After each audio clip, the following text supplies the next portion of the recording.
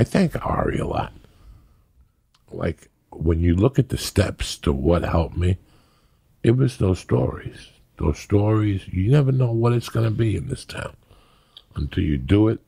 Just make sure you're prepared and you go out there and you do them, and that's it. But I think those stories, those 15 minute segues on Ari's storytelling show helped my career more than anything, just telling the truth. More than a special, more than the two shitty specials I did, more, than, you know. I think people would like that, like raw roughness of that show. That show is so perfect That show Ari. was perfect. Yeah. That show was a perfect show. Uh, you don't know what's going to turn the meter with some people, or you don't know what's going to complete the circle for some meter.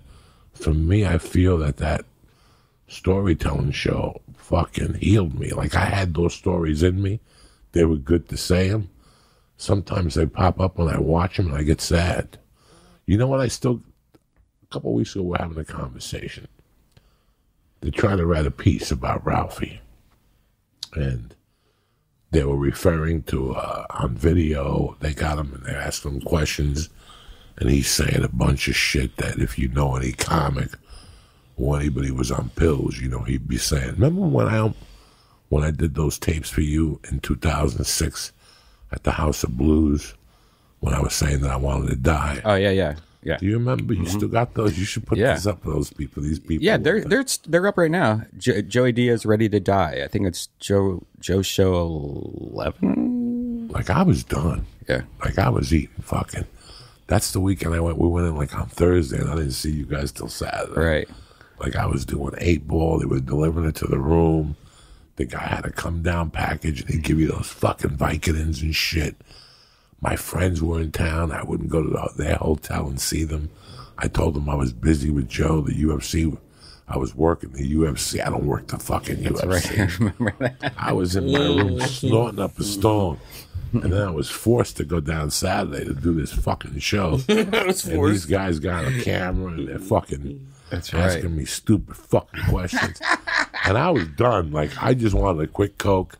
I didn't think it was possible. That's what was going on. Spirit left me. Like, fucking Thursday night, we flew in. I basically snorted all night Thursday.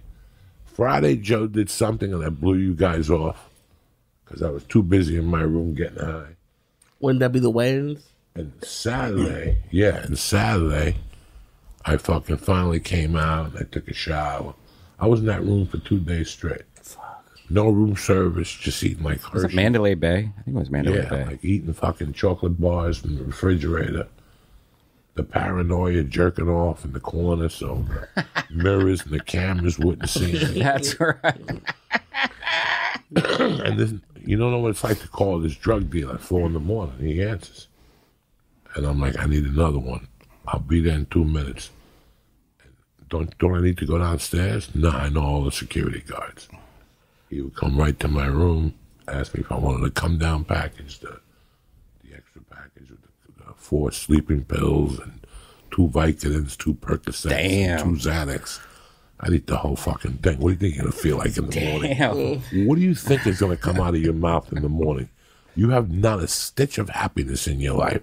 All the dopamine has been taken out of your brain. I was on a roll for two days. The things I said on those tapes, like, were just, I always think about that. Like, that was the darkest time of my life. That last year before I quit Coke. Ooh. Ooh. Isn't that crazy? You made it out of that. I mean, how insane is that, Joey? Dog. I mean, I even thought you, you were a, a goner when during those times when you when you thought you were dying and stuff like that. I, like I was like, oh man, he's only going to last a couple months. Yeah. Like we all like kind of thought that. I Yeah. think because you you sold it so well. It, it wasn't that I sold it so well. It was what I was basically fucking going through. yeah. Like, I mean, so I did a big movie. I opened up for Rogan on the road. I The longest spots- yard, right? I do spots at the store, and this is it. This is my life.